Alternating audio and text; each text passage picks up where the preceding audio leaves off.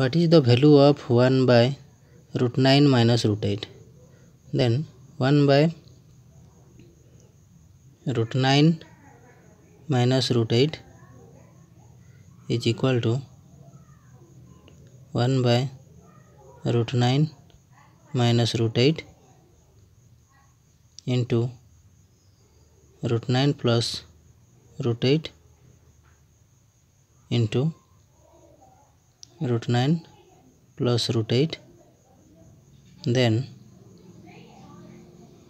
root 9 plus root 8 by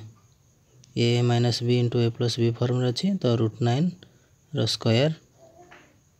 minus root eight square is equal to ये होगा